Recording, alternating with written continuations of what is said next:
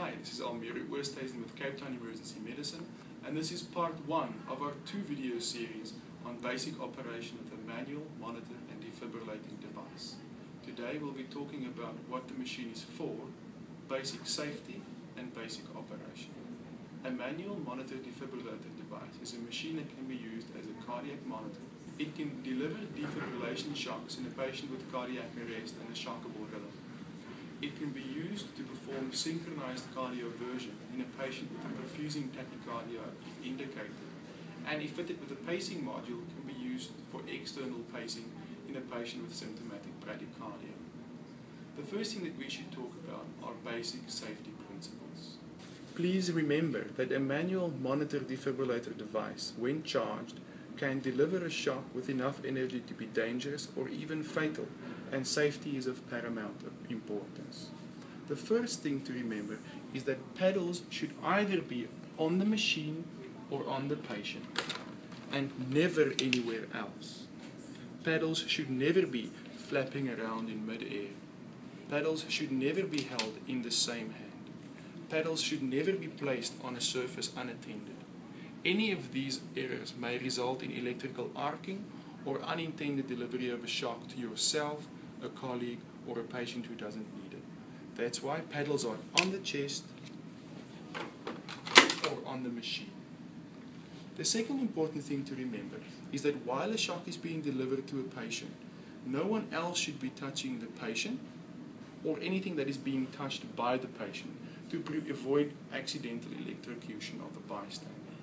Also, there should be no high flow oxygen or oxygen washing across the chest or in the area of the patient. The oxygen source should be removed during the delivery of the shock. About a meter should be enough. The easiest way is to take the oxygen source, and if you have it an arm length away behind you or away from you, you should be safe. The last thing to remember in terms of safety is to use electroconductive gel.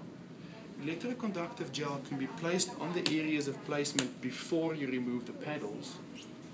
Alternatively, once you have removed the paddles for the first time, an assistant can quickly apply some gel and the paddles can then go on the chest.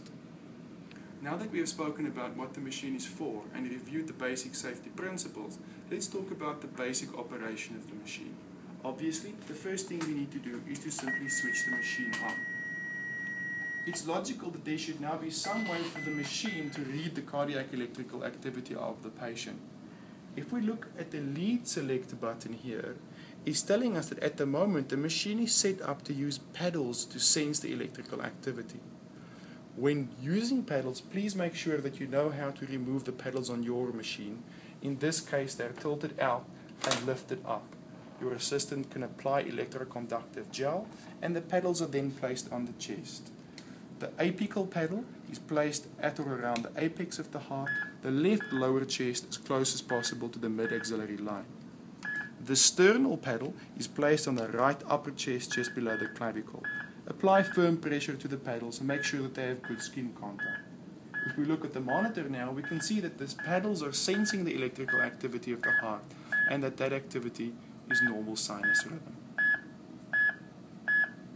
An alternative way to sense electrical activity of the heart is to use the three lead system bundled with the machine. You can apply red to the right.